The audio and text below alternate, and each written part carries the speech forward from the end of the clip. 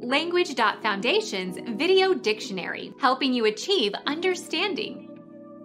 Migration from a place, especially migration from your native country in order to settle in another.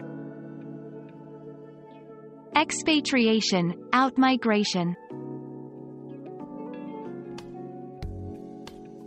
Become our student and get access to effective and free educational materials. Subscribe to our channel to become a part of our growing community and to learn English effectively.